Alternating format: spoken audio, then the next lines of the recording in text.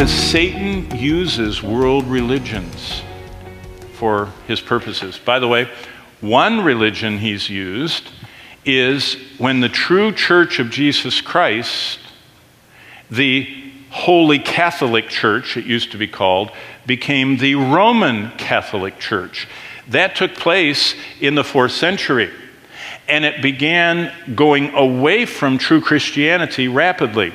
Purgatory, uh, the Mass, the Inquisition, indulgences, transubstantiation, the adoration of the host. That's where the Roman Catholic priest lifts up. Um, well, that's interesting.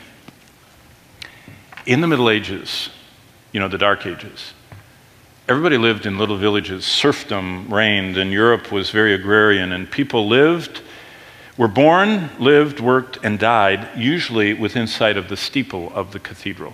They never went anywhere, they just lived there. That's how it was back then.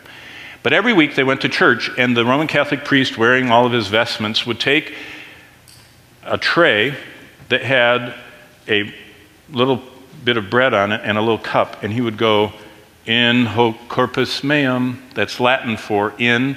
Hoc is this, corpus, uh, body, meum, my. So this is my body, in hoc corpus meum. And he would take what they knew was grape juice and what they knew was bread, and he'd go, In hoc corpus meum. And when he brought it down, he'd say, This has become the blood of Jesus Christ, and this is the body.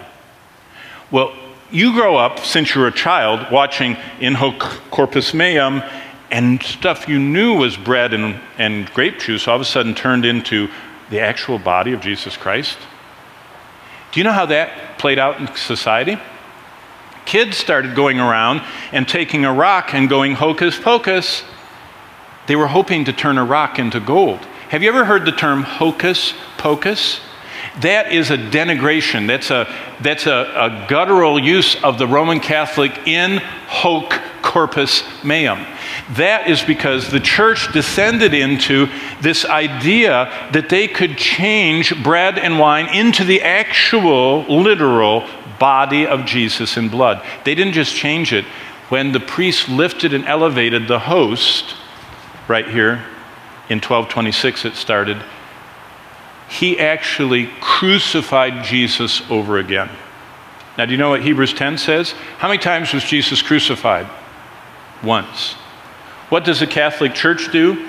At every altar, at every Mass, in every cathedral, every hour they do it, they say, We are crucifying Jesus Christ again. And if you will come forward and dip that little wafer and I'll put it on your tongue, you have participated in the sacrament of Mass. Do you know what Roman Catholicism is? It's much like if you visit the hospital, look for a Carl if you do, but if you visit the hospital, there will be people wearing those little gowns that don't quite close in the back and they're a little embarrassing, you know, and they're walking down. They're, they're out after surgery getting their exercise, and a lot of them are pushing a little four wheeled gizmo that has a bag with a drip line to their arm. What do we call that? An IV. What are they getting? They're getting one drip at a time, something that's helping them get better or stay alive. That's the best picture I know of the Roman Catholic Church. You come to church, they poke you in the arm, and you start getting the sacraments. They start dripping. And you go through life hooked to your line to the church, and you get all your drips, but at the end of your life, you don't have quite enough to make it to heaven. So where do you go? The first doctrine of Romanism, purgatory. That's not in the Bible. That's why the Roman Catholic Church has the Apocrypha bound into their Bible, because purgatory is not in the Bible, God's Word. It's in the 24th chapter of Maccabees in the Apocrypha. And it says you can make prayers and sacrifices for the dead, and so they do. But God didn't say that. It's in an apocryphal, untrue writing from the intertestamental period. So you go through getting your drips, but you don't have enough righteousness to get to heaven. And so you have to go where? Purgatory. What's purgatory? To purge your sin. What is that saying? Jesus didn't do enough. Religion says you've got to do, do, do, do, and you never do enough. Revelation says God did it all. It's accomplished. All you do like Douglas, you say, I want it. Like Luther, I am yours, Lord, save me.